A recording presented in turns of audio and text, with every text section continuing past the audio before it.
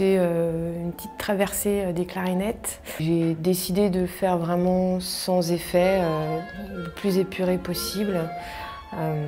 voilà, clarinette basse, clarinette si bémol, clarinette mi bémol et une demi-clarinette. Et donc ce sont des pièces qui sont plutôt ficelées, avec des choses écrites à l'intérieur, et puis de la déconstruction et l'improvisation.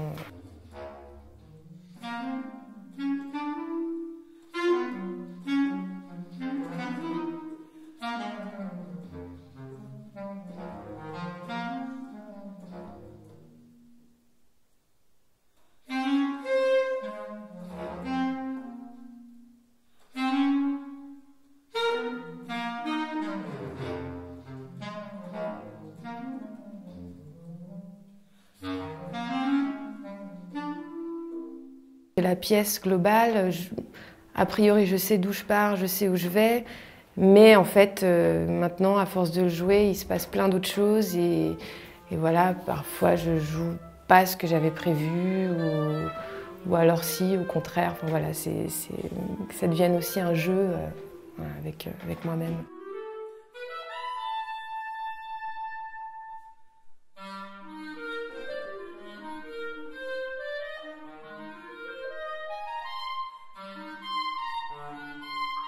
J'aime toutes ces clarinettes-là. C'est pas une volonté de, de, présenter toutes ces clarinettes, mais on a des timbres très différents et, euh, et euh, voilà, je me mets aussi à la place euh, du public, j'ai besoin de ça. Et voilà, pouvoir leur proposer des couleurs différentes, parce que voilà, quand on est seul sur scène, ça peut aussi être compliqué en face. Donc euh, voilà, j'ai besoin de, cette recherche euh, de timbre euh, sonore.